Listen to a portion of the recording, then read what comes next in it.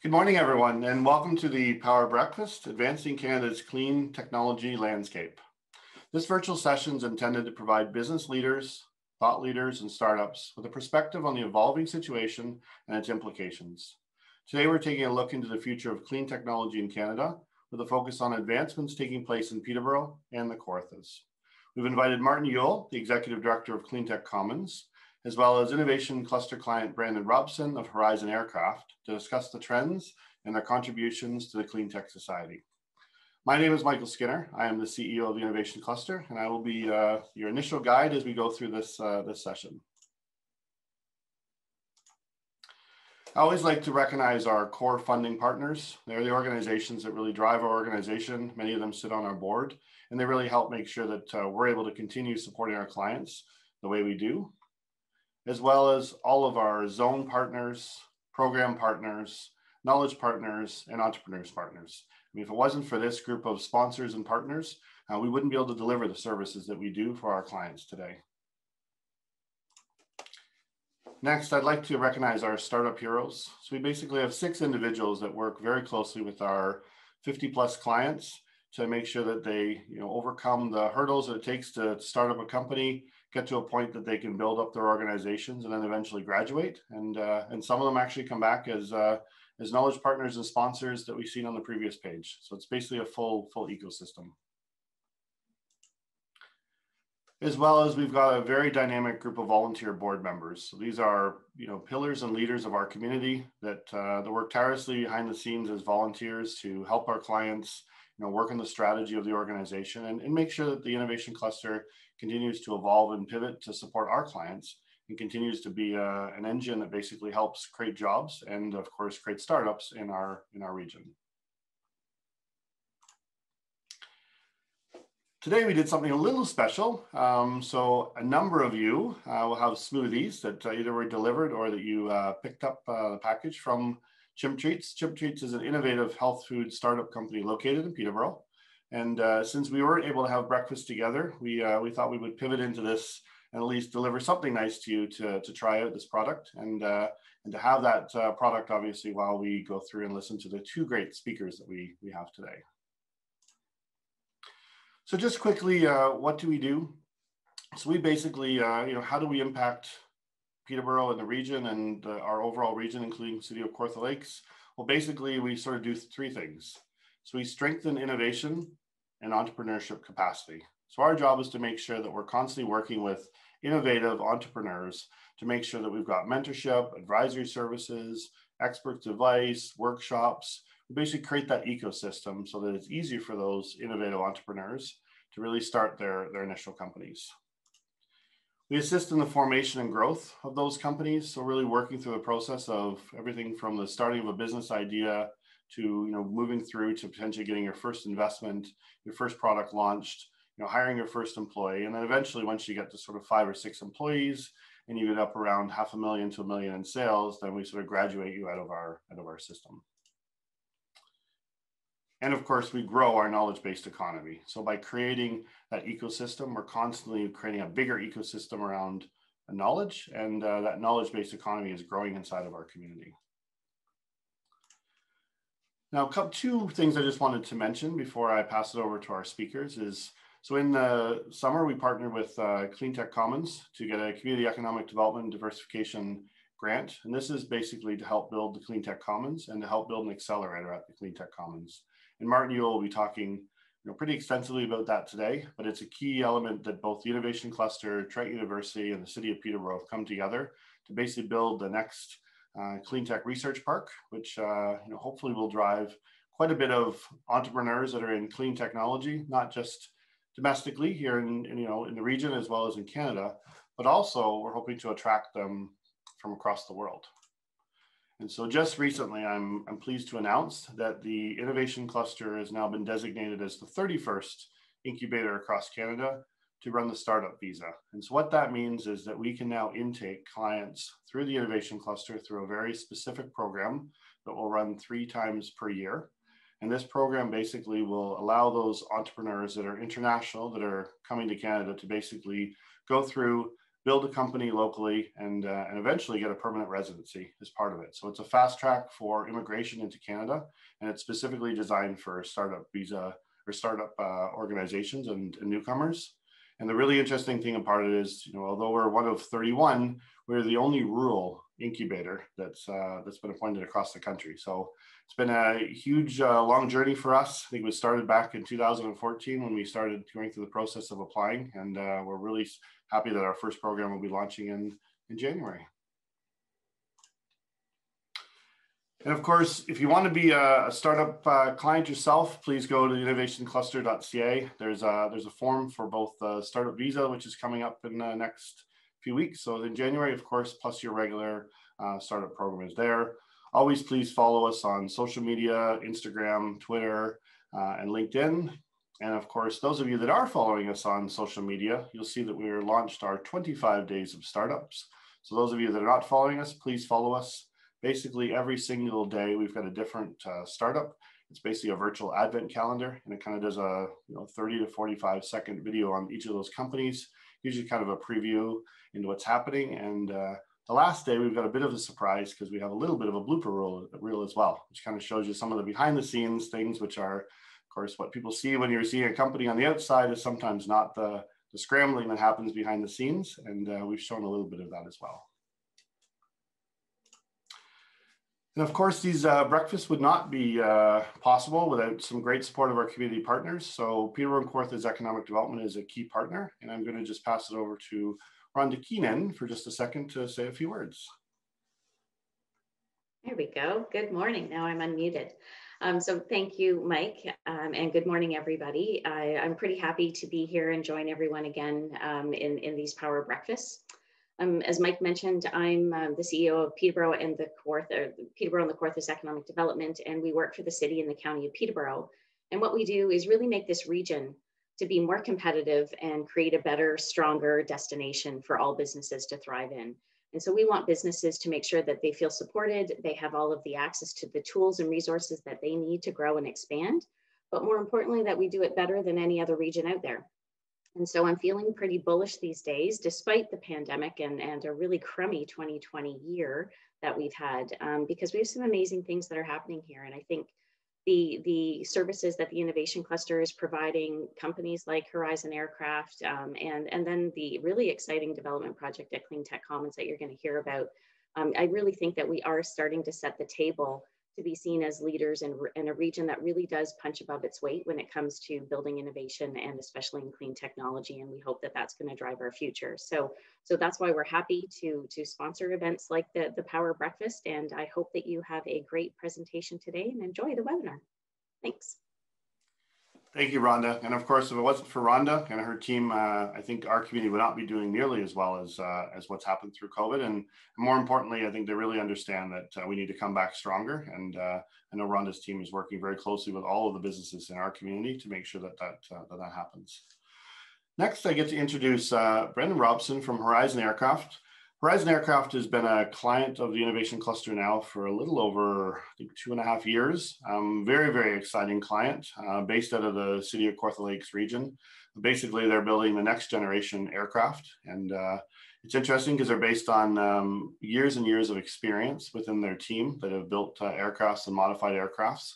But, um, but also, of course, their CEO uh, Brandon, who's going to talk to you, is also an F-18 uh, fighter pilot, so he's definitely somebody who has no problem taking risk, which is important, obviously, when you're building a company. And so I'm going to turn uh, things over to Brandon to do a little introduction. Okay, thank you, Mike.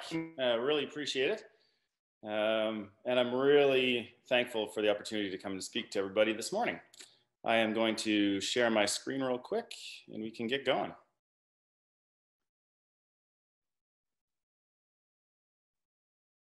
Okay, how's it looking? Okay, great, good, it looks good for Mike. Okay, so yeah, thanks for the opportunity. Uh, we're really excited today to uh, talk to you about Horizon Aircraft and a really cool emerging new market in clean tech. Uh, that's urban air mobility. Uh, wouldn't be possible, it wouldn't be here today without the help of Mike uh, Skinner and John Gillis and their leadership at the Innovation Cluster. So a huge shout out to those guys. Also, crack team, um, Alana, Kate, Rachel, uh, and Rose just an exceptional uh, group of individuals, amazing initiative, uh, and have been a real bright spot throughout this whole pandemic. Um, and that, you know, the startup visa is an example. There's, you know, five or 10 more examples. Uh, same with Rhonda and, and her initiatives. And uh, Mike spoke very truly. We're very appreciative to have connected with them. Without further ado, hopefully you guys have got uh, your smoothies and your coffee uh, all stoked up. I've got two coffees already downrange. So if I talk a little quick, I'll try to slow myself down. Um, but yeah, pretty stoked. Uh, so what we're going to talk about today, uh, we're going to talk um, about who I am, first of all, and why you need to listen to me or why it would be good to listen to me. We're going to talk about uh, why we're doing what we're doing. So the big problem that exists uh, that we think we found a really good solution for. We're going to talk about uh, what uh, overall is emerging in order to deal with that situation. So the urban air mobility market, and we'll talk about that. And then we're talking about specifically how Horizon Aircraft is going to address that problem. So our unique uh, product that we've been developing for quite a while now with the help of uh, the innovation cluster and some guidance and also some talent uh, that is local. And we're going to bring it back uh, full circle and talk about uh, where this is all happening. And a little hint, it's happening a little closer than you might think. So who am I and why should you care about what I'm saying? Well, uh, I don't know about the latter, but the former uh, is me. And the left-hand side, the happy little kid, um, is me in our family aircraft. It's an old flying boat, Republic Seabee. Um, you know, I had stories from when I was a kid. Uh, you know, I think my first flight was when I was six months old.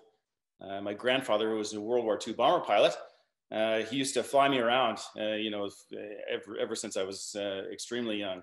And there's stories of, you know, me being three years old, and standing on the seat, and he refuses to fly the airplane. So he makes me fly the whole thing uh, from point A to point B. It's about a 15 minute trip, but it takes about an hour and a half most of the times. But I think that kind of ingrained things into me. So on the right hand side, you see the same little kid, uh, but I grew up on the outside um, and convinced everyone to uh, uh, to let me play with a little bit bigger toys. So that's me in the uh, CF-18 in the background. Recently hung up, hung up my spurs. Uh, and it's a bit ironic that I'm talking about uh, clean tech because I probably have the single most largest per person um, carbon footprint. And I'm glad, glad to spend the last half of my life kind of cleaning up for that. But a lot of fun. It's been a great ride, and uh, we're starting the next journey right now. So the story of uh, Horizon Aircraft is a story, uh, a family story, really, of innovation, uh, a passion for aviation, uh, Uh, and some really uh, excellent engineering, I think, along the way. So it starts with my father uh, on his retirement from uh, Johnson Johnson Pharmaceuticals, where he was started out as an engineer designing machines all the way up through managing advanced pharmaceutical manufacturing. The entire time he was an avid aviation enthusiast. And we're lucky enough to have an aircraft at home, uh, the Republic Seabee that you see in front of us there, flying boat, a beautiful machine. Uh, right there, it's on skis, uh, so we can fly off the lake in front of our house when it's frozen in the wintertime, as well as uh, when it's liquid in the summertime. So it was pretty fun uh, experience and pretty pretty privileged to have had that experience. Now that airplane right there you see has over 50 custom modifications. So that's the result of my father's uh, MacGyver type engineering uh, abilities that persisted his entire life. So when he retired, he had so many people asking him to do those uh, types of modifications to his airplane. Uh, and that one is built by him and uh, my grandfather from scrap metal from scratch that he opened his own business. So Eric B. Robinson Limited that eventually became Horizon Aircraft um, to sell those uh, aircraft, to sell those modifications, sorry. And throughout that, uh, Dad has been interested in a lot of things, um, but primarily the electrification. So he saw an opportunity in, uh, in around 2000 to start bringing electric systems on board to replace older, heavier mechanical systems. So electrification of flap and the gear system, um, installation of a really cool Corvette V8 power system. So an, it replaced the entire engine in the aircraft with a Corvette engine uh, went from about 215 horsepower to about 450 horsepower. So doubling the horsepower in a machine like that definitely uh, doubled the performance, not exactly like an F-18, um, even though I tried to fly it like one um, unsuccessfully. Um, but yeah, so a pretty cool modification there uh, and a lot more fuel efficient, a lot less carbon emissions uh, already. Um, simplification of the control system and whatnot. And I kind of joined the team in around 2015. So in 2015, I took a look at that engine and again, the popularity of that system being sold uh, worldwide, uh, that engine conversion system. And I thought there'd be an opportunity to use that as the foundation for a hybrid power system, which eventually became the beating heart of the machine I'm going to show you later.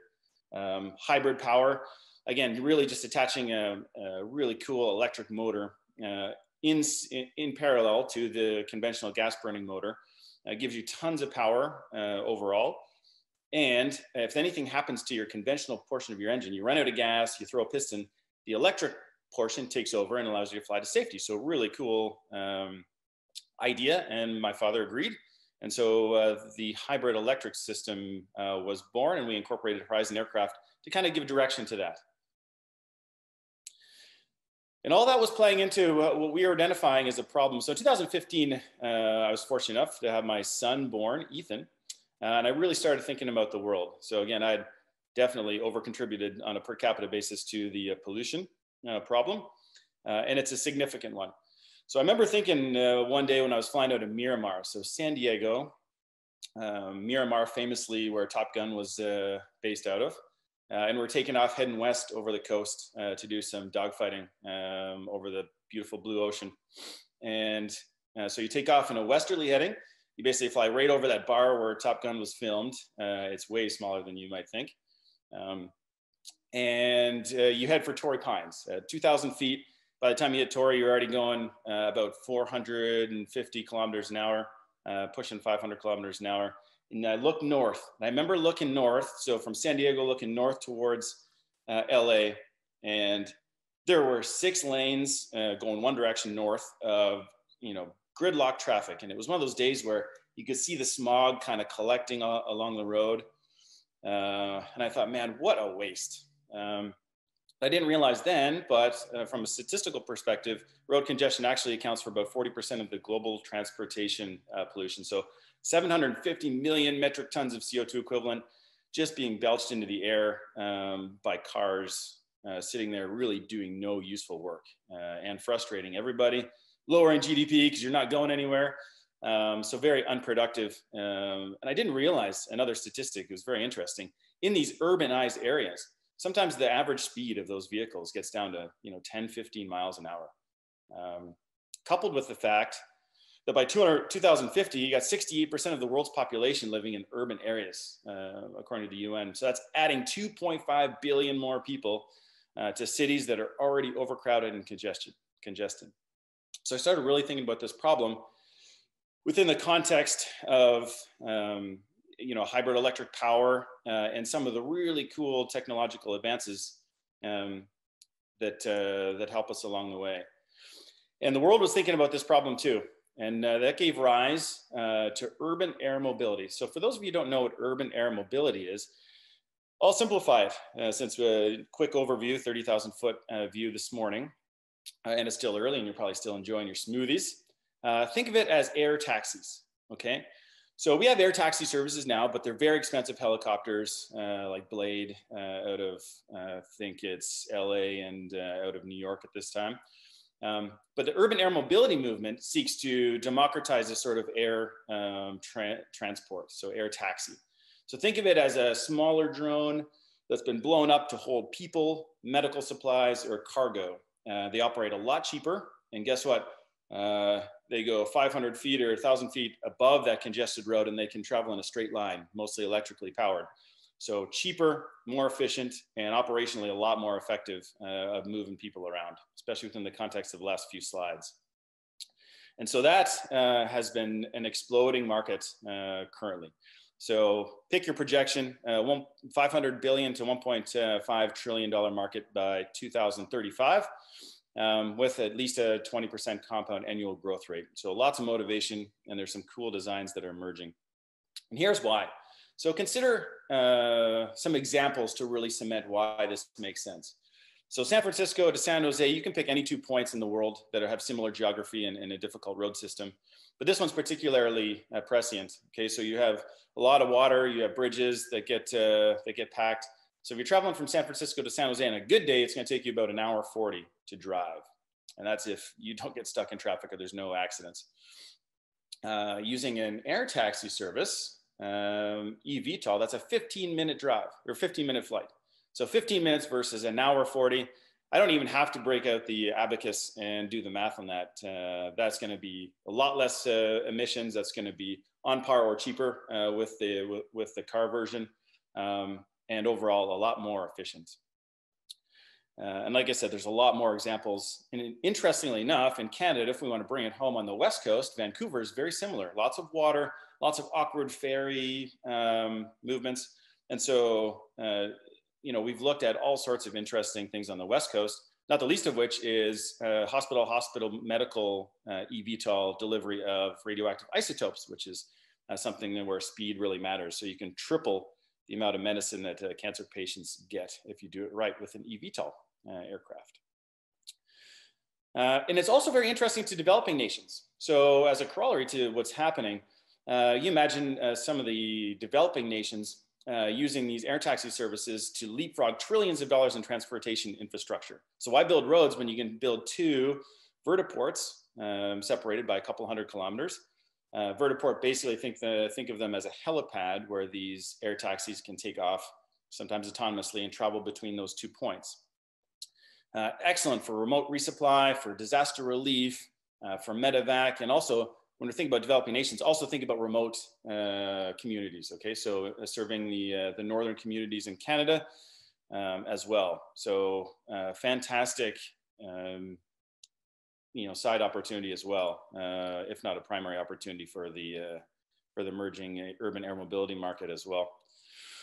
Okay, so we talked about the problem. We talked about an emerging market. how is Horizon Aircraft approaching this marketplace? Okay, so the first thing we did is think about uh, you know some of the really cool technological advances that have been happening over the last five years. So you look at the trajectory of battery technology as one, and then also electric motor technology. And those have crossed critical thresholds in the last five years that make very unique designs possible. Couple that with our hybrid electric system, and I show you uh, why this is uh, special. But fundamentally, I want to talk about uh, one of the major problems with some of the other designs that we see.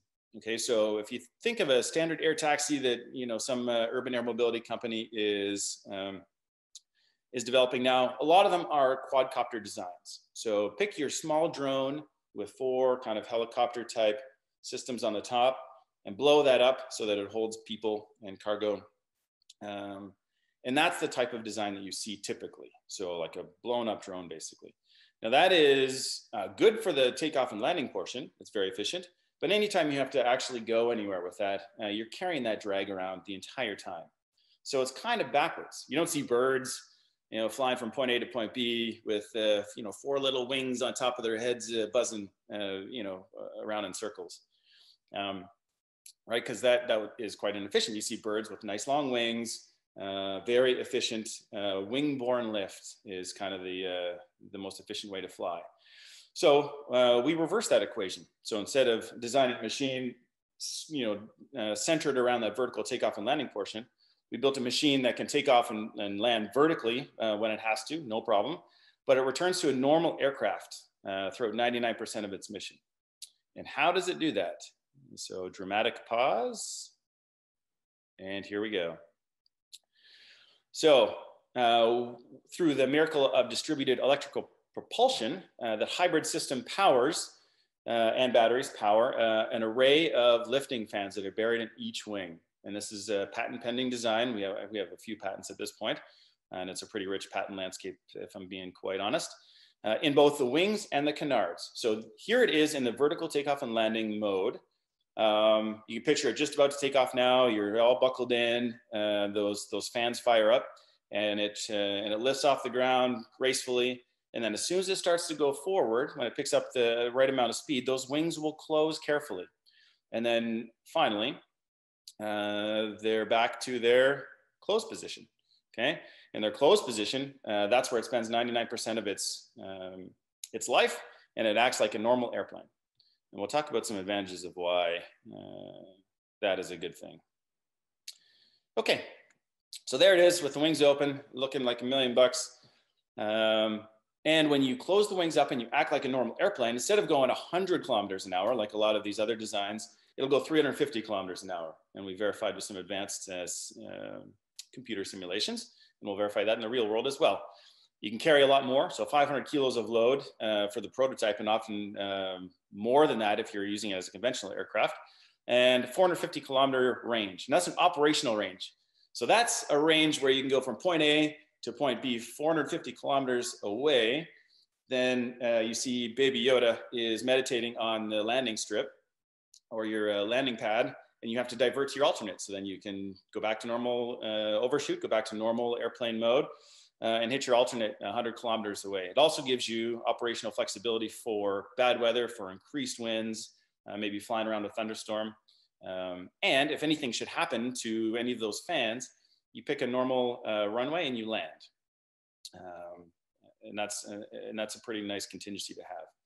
Mentioned the patent pending wing design, uh, wing design, and it's all made possible because of that hybrid electric power system and the miracle of uh, modern batteries and electric motors. Can carry five people, so one uh, pilot and four passengers, and that uh, confirms to the Uber Elevate specifications and broader specifications that are coming out. Um, and again, designed for practical use. I'm from an operational fighter pilot background, um, and we're not overselling it. This is this is uh, these are actually very conservative numbers, and I could uh, probably bump those up, um, but we're not about that. It is the first modern fan and wing design in a long time. So NASA tried this in the 50s and did very good uh, work, but they didn't have um, you know the the type of technology that we have and that, that has crossed the threshold, like I said, in the last five years. So as its uh, as its life, 99% of its mission as a normal aircraft, um, you get a lot of benefits. So when we go to certify this aircraft, for example, um, you know, the, which there's a lot of certification frameworks that are emerging now from some of the major certification bodies. Uh, so when we certified for commercial flight, you know, fundamentally, this is a normal airplane with just a more advanced safety system when you think about it. So if you could take off uh, normally, get the wings closed up, and now you have a problem where you have to slow down. And once you get to a certain uh, speed, the airplane automatically recognizes that, opens up the wings, and now you have an airplane that's not going to stall or crash. And you pick a nice field and you can land vertically and uh, call the repair guy, and away you go. Um, the certification agencies talk about 10 to the minus nine failure means one in a billion chances of a critical failure happening. And with the number of fans and the systems that we have on board, uh, we're easily going to um, meet that we talked about the operational capability uh, being paramount to this whole thing as well, which we're uh, pretty happy about. More eye candy, really. This is uh, this is just to show you uh, really a, a, really nice picture of it, but also uh, the seat is left empty on purpose.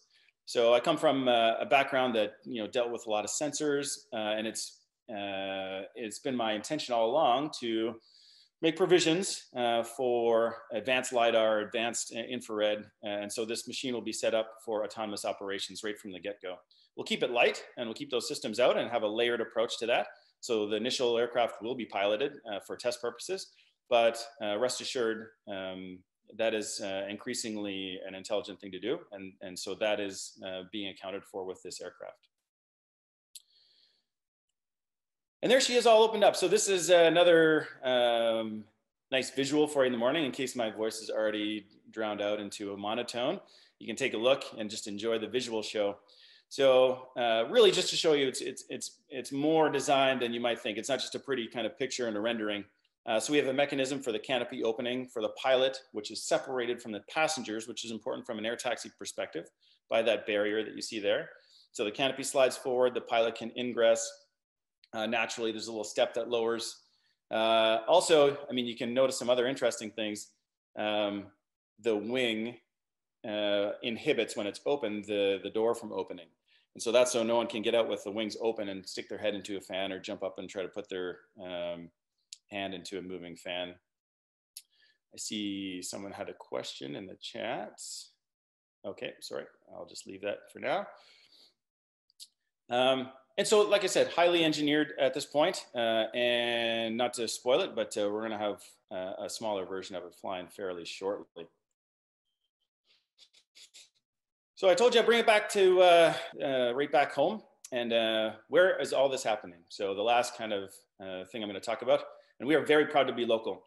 So we're based out of Lindsay. we've had a lot of support, like I said, from the innovation cluster in Peterborough, City of the Kawartha Lakes, Rhonda Keenan as well uh, and we're looking to expand uh, in that direction. this is in a fantastic area to do this kind of work in.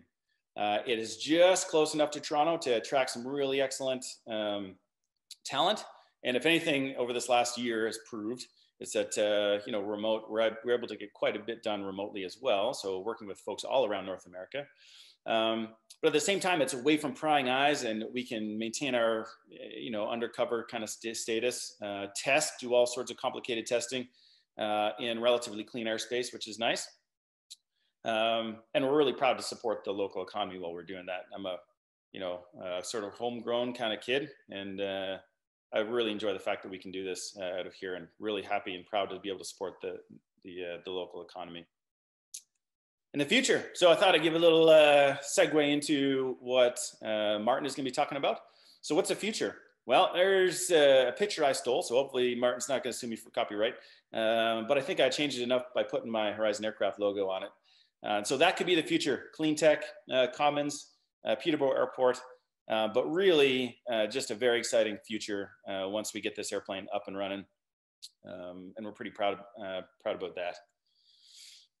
And what's next? Okay, so like I said, uh, we're gonna we're gonna have a subscale prototype flying uh, within a couple of months here, and uh, we'll have some announcements surrounding that.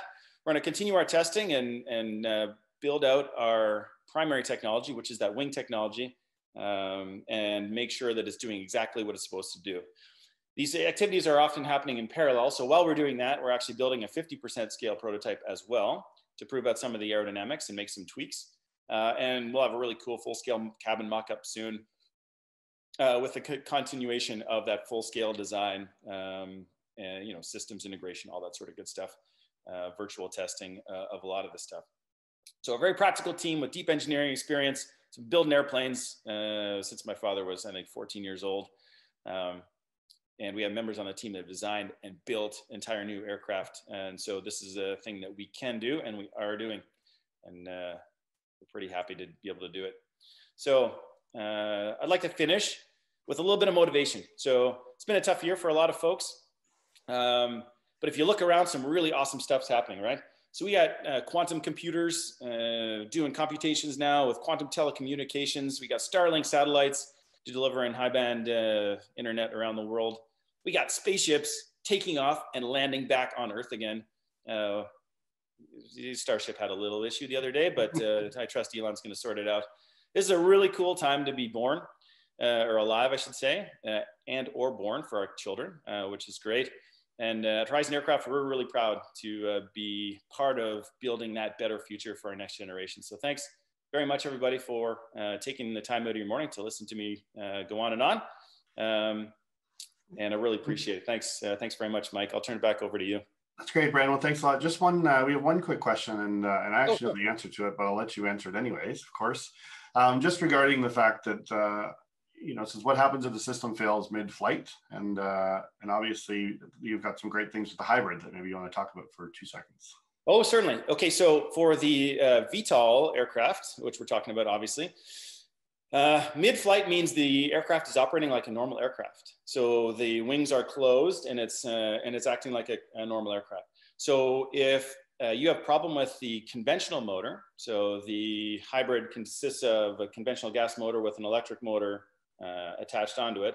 If you run out of gas or throw a piston or something, we have a system that automatically decouples the two and the electric system drives the propeller and allows you to make it safely to your uh, next destination, next airport. Um, and, it, and, or if you have any power left in the uh, batteries, which you should have it uh, back up to 80% by that point, you can secondarily open the wings up, do a vertical landing in any field that you deem as safe as well.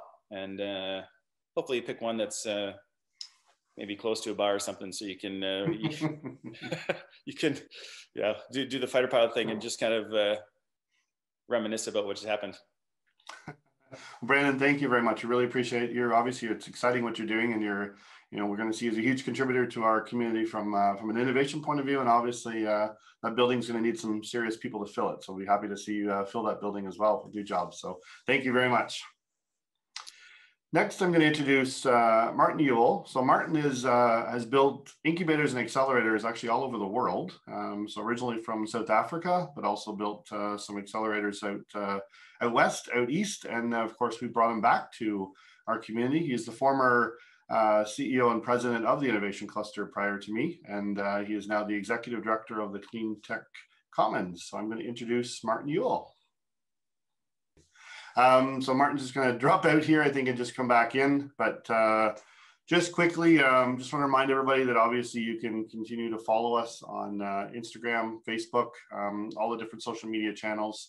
Um, we'd love to have uh, anybody who's thinking about opening up a company or starting a company, please come in and apply. If you've got any questions about what it takes to be a startup, we're obviously always available by either email or phone. And um, I used to say you can drop by our office, but uh, we are still running on a on a skeleton crew during uh, during COVID, so we're kind of available from time to time. And now Martin's back. Can we hear you, Martin? How's how's that doing now, Mike? Perfect, Martin. Excellent. Thank you. So I'm going to uh, okay. Sorry for the you sorry and for the, uh, and thank you very much. sorry for the slight delay, folks. And uh, you're seeing my screen, is that right? Uh, we're just seeing you right now, so you just need to share. Okay, give me one second. There we go. You can see it all. We can. Perfect. All right, Martin, I'll turn things over to you. Thank you very much. Thanks, thanks, Mike, and uh, really a great pleasure to be with, with you all this morning, folks. First of all, a huge shout out to my friends at the cluster for uh, hosting this event this morning. And thank you also to PKED for partnering to present this series. But I guess most importantly, much more importantly, thanks to our friends at Chimp Treats for the healthy and delicious start to the day. Apparently, though, I wasn't one of the first 50 to register for this event. Um, I will say what a great treat it is to follow Brandon and his Horizon aircraft story with his significantly larger than life uh, example of clean innovation right here in our own backyard. Brandon, I'm delighted to lend you uh, a building design in exchange for the first Horizon aircraft landing at Cleantech Commons in the near future. Now, I know that we have a really interesting online mix this morning from clean tech startups to investors to funders, uh, community members, mentors, and even, and even I think a few policy wonks.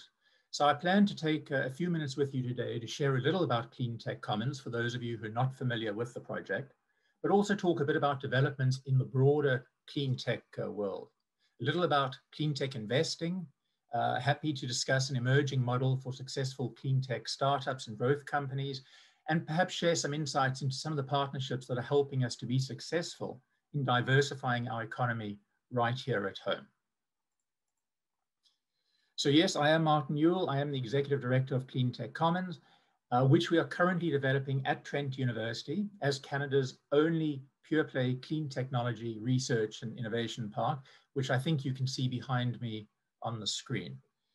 I will admit I must say, to being a little disappointed that some of you never got the memo about today's dress code, um, but I will, I will push on regardless. Now, the slide on the screen in front of you uh, shows the location of Clean Tech Commons, which is marked here in red as the Trent Research and Innovation Park. And I'm sure many of you will recognize that this is on the east bank of Trent University at the north end of the city of, of Peterborough. Now this, this next slide shows the layout of the 85 acres of the park, as well as some of the key design elements that have been included in our master plan, including, for instance, that the park will be integrated with the Trent campus, will be designed to foster a, a strong community of innovation, will lead in terms of sustainable design, uh, and will accommodate a range of enterprises and uses.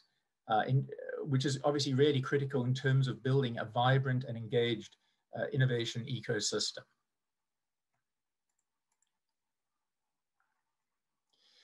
Now, in helping in particular to address Canada's pretty dismal track record of commercializing the outputs of academic research, research parks uh, have really proven themselves over the years to be pretty significant economic drivers.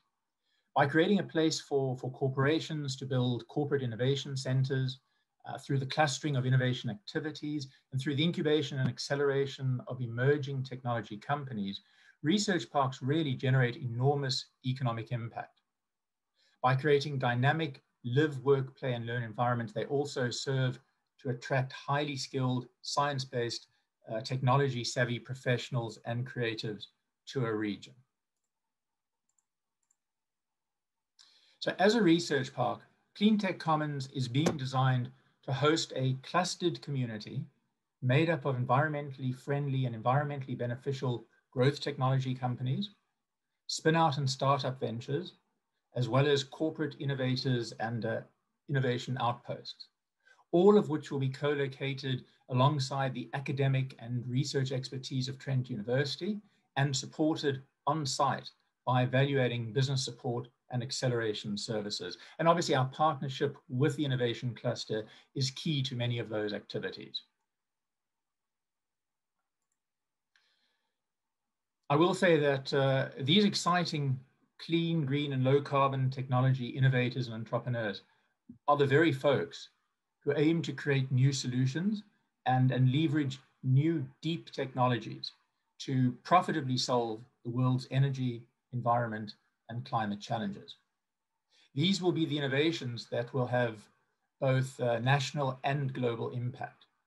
And these are the startups that are going after solving hard technical problems to serious global problems. They're often addressing billion dollar market opportunities and will be the ventures that create tangible, investable technologies. And that's why I couldn't be more, more delighted to follow Brandon, who I think exemplifies so much of this. Now, I'm going to use the term deep tech throughout this presentation uh, to refer specifically to a category of startup companies that develop new product based on scientific discovery. Many of these, or most of these, originate in university labs, and many clean tech, clean tech ventures fall into this uh, category. So deep tech companies then tend to be characterized by a couple of the following features. They generally require lengthy research and development. These are not products that you make in six months, and these are not products that you commercialize in another six months. They may take a long time to reach commercial application or even market ready maturity. And they often, quite often, require significant capital investments to achieve any level of uh, uh, commercial success. However, they do have the potential to address big societal and environmental challenges. And in many cases, they're quite radical. They either create entirely new markets or they serve to disrupt existing ones. And why is this important? Well, recent research out of the UK suggests that between now and 2030, and only if deployed at scale, established digital clean technologies could enable 15% of the global greenhouse gas emission reductions that are required. The International uh, Energy Agency forecasts, I believe, that nearly 35% of emission reductions will come from technologies that are currently only in the prototype or demonstration phase, and that a full 45% of reductions will come from technologies that have not yet been developed or widely deployed. In other words, I think it's uh, fair to say that without uh, that net zero goals are simply unachievable without significant technology breakthroughs across multiple classes and multiple industries. And that is why our investment in deep technology research and commercialization is so important. But the good news for early stage ventures in the room today is that global private investment in the deep tech fields has increased by a staggering 20% a year from 2015, reaching, I think, almost $18 billion in 2018. Um, with investments in climate tech having grown at almost five times the rate of the overall global venture capital market. Clearly, clean tech investing is no longer niche, and ESG goals are feeding into this trend even more. Since 2013, according to PwC data, funding for climate-related technologies has climbed by a whopping 4,000%. And here's the good news for Brandon, is that of that, mobility and transportation represent 63% of all climate tech funding. And this has been focused in areas like electric vehicles, micro-mobility, and other transit models, all of which, uh, been, all of which have been attracting broad investor attention. So Brendan, you're playing in the right sandbox, that's for sure. And this represents a huge improvement after the fallout from the original clean tech boom and bust cycle of a decade ago. Between 2006 and 2011, investors then invested some 25 billion US into clean tech startups and lost more than half of it. At that time, I think it's true to say that far too many startups were still deep in the research and development phase, and in hindsight were a pretty poor fit with the venture capital industry, which was counting then on the sorts of higher returns over a three to five year period that they had seen previously in software. Clean tech, common, uh, clean tech companies showed that they require considerably more money and more time to both demonstrate and scale up their technologies. And also, while clean tech founders may have been really great at developing technologies, many had little experience building manufacturing capacity and operating real businesses. So many, many lessons have clearly been learned since then. Not only have investors in clean technology adjusted uh, their time horizons, but the current invest, uh, investment cycle is also far more diversified. If you look at Bill Gates' new breakthrough energy venture fund, for example, it's a $1 billion clean tech fund. They are investing today on 20 year cycles. And even MIT, um, they run an incubator called The Engine that invests in startups, doesn't count on earning their money back for 12 to 18 years uh, periods. And in addition, while the first uh, boom was primarily about cleaning up the power sector and early efforts to address transportation, venture capital is now investing far more widely, including in these areas, in protein replacement companies like Beyond Meat, um, in startups developing cleaner ways of producing cement and steel, like Halifax's CarbonCure Technologies, uh, to carbon removal and recycling, uh, etc. But I think more than that, just as, just as cloud computing and on-demand, uh, on-demand service space helped software companies scale, today's sophisticated uh, computer-aided design tools are much more accessible as are the services for making machined uh, and 3D printed parts, populated circuit boards, and mass manufacturing, resources that previously prevented many startups from getting launched in the first place. And even commercial prototyping tools can today help developers build smart, smartphone compatible, and connected devices for both consumers and commercial customers. So what is this new breed of uh, startup doing differently? Well, I think here is some good learning for our local startups for sure. So first, they're emphasizing product over technology, benefits over features. They're learning to communicate how their technology directly solves customer pains or creates customer gains, rather than talking up a range of vanity metrics, such as, let's say, efficiency and speed. So yeah, while it's true that a two times lower power ratio or two times energy dense battery or, or a 50% more efficient solar cell makes intuitive sense, Hitting those goals clearly takes longer and costs more money, making it much more difficult to find the follow-on capital later needed to scale. So today, clean tech startups are more successful if they focus on communicating value to customers rather than talking about how they are pushing the uh, technology envelope. Secondly, I think they're building lasting companies. They're not building for quick or early access. So today's clean tech uh, companies that are raising significant funds are attracting, are also attracting and building talent for the long term. And while that includes engineers, it also includes other functions such as design, product, and marketing. And founders are spending much more time talking about the ways in which their ventures might shape the future and then building internal culture. And that in turn is helping them to attract committed and passionate employees who join the founders in working tirelessly towards achieving a shared vision. And third, they are much, they're increasingly putting customers first and quickly iterating their product development based on customer discovery and feedback. And this is helping them to establish product market fit much earlier in the product development process. And I think a great example of all three of these trends is actually Newfoundland's Verafin, which has just executed, I'm sure some of you have been following, a 3.6 billion with a B dollar exit. Their financial crime management platform Uh, it's an innovative anti-money laundering and fraud platform. You know, it's been 17 years in the making. This is a 17-year overnight success story and comes out of an advanced graduate uh, research project at Memorial University in, in Newfoundland. And truth be told, it was only created as a result of a pivot from building robots for the mining industry.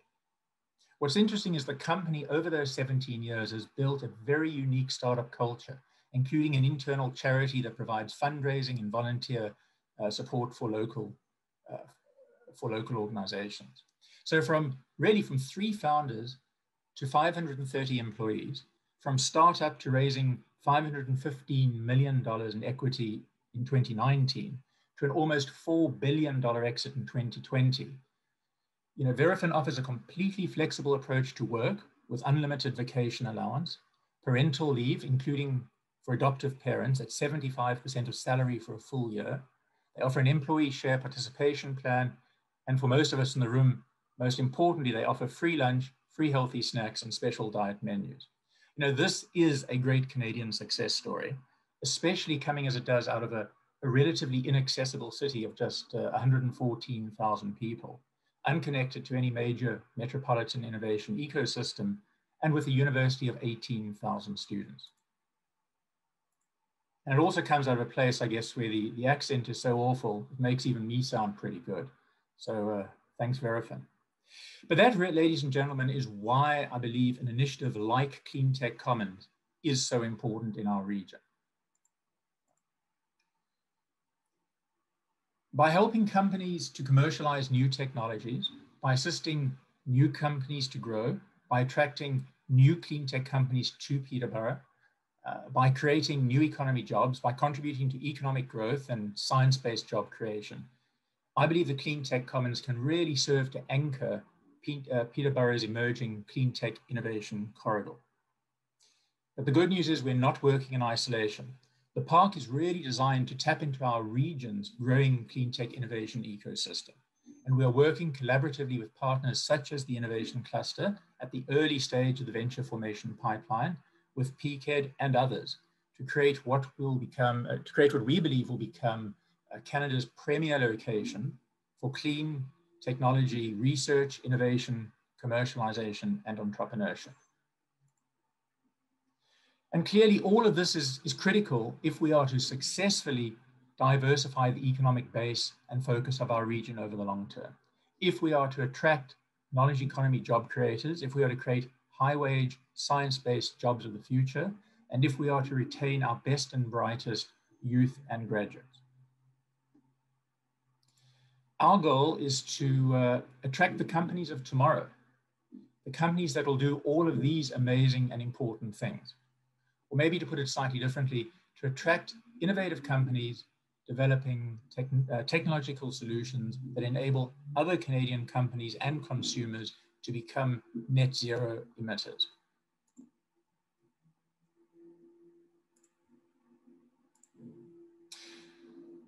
So why are why the clean tech focus? Well, clearly the issues that Brandon raised in his presentation demonstrate why the world is rapidly changing and why the most advanced countries are all forging cleaner, more innovative economies.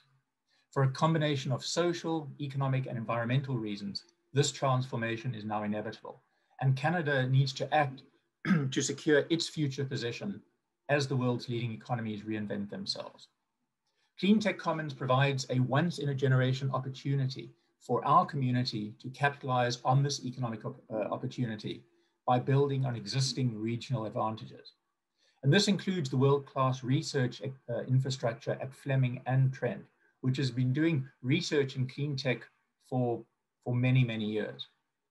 So let's be clear that the global demand for clean innovation is growing. The imperative to address climate change is also creating a lucrative market for low pollution innovation across almost every sector. Accelerating the pace of clean innovation in Canada is therefore not only an important tool for meeting our own climate and environmental goals, but it also represents an important global economic opportunity. And as such, Cleantech Commons is being designed to provide tenants with the infrastructure, with the facilities, and the services they require to support the growth of globally competitive Canadian clean tech ventures which are able to tap into the global clean technology market, which is expected to be worth as much as what 2.5 trillion in the next two years, or as much as 26 trillion dollars by 2030, creating as many as 65 million jobs globally. Countries that mobilize investment in clean innovation early will be well positioned to capture a share of these massive economic opportunities. And the same is true with regions. Canada clearly already punches well above its weight in the clean tech space, with uh, 12 of the top 100 global clean tech firms being Canadian by origin. Uh, in total, EDC talks about some 850 clean tech companies with revenues of 13 billion, currently employing about 55,000 people. Well, by being at the center of a Peterborough-based clean tech cluster, Clean Tech Commons is designed to be the vehicle that will enable this region to take advantage of all of these opportunities and become a hotbed for clean, green, and low carbon economy innovation and tech development, and will help Canadian technology leadership, um, help build some Canadian technology leadership to solve global energy, environment, and climate challenges. Our Enterprise Center, for instance, is an accelerator initiative that will provide shared labs, space for technology assessment, demonstration, and piloting, office space, and scale-up facilities specifically designed to support the uh, commercialization of clean tech products and services. And by supporting collaboration between industry and academia, the accelerator is part of our overall plan to stimulate clean tech sector growth and position this region, region as, a, as an emerging clean tech hub. So folks, I'd like to thank you for this opportunity to share some of these thoughts with you today. Let me leave you with this, that Cleantech Commons represents a bold vision for the future, advancing our regional economy as a center for clean tech innovation and becoming home to a broad range of organizations and associated programs that serve to incubate, that serve to accelerate, advise, and support new business ventures and entrepreneurial leadership in the clean tech space. I truly appreciate this opportunity to talk to you this morning, and I truly appreciate all of the support that we're getting from so many, and believe that by working collectively and collaboratively, we can indeed make this bold vision a reality for our community. Thank, uh, thank you, Mike, and uh, Excellent. Thank you very much, Martin. And uh, your timing is perfect, right at nine o'clock. Look at that. So once again, on behalf of the Innovation Cluster, I'd just like to thank everybody for joining in. We obviously appreciate uh, everybody that attends these events and uh, also wish to wish everyone a happy holidays. And of course, uh, if you want to laugh and, uh, and see something that's kind of neat every day, make sure you take a look at our Advent calendar and uh, definitely make sure you take a look at the one that's on the last uh, day before uh, the Christmas holiday to to see what what the bloopers are. So once again, thank you very much, and and we appreciate it.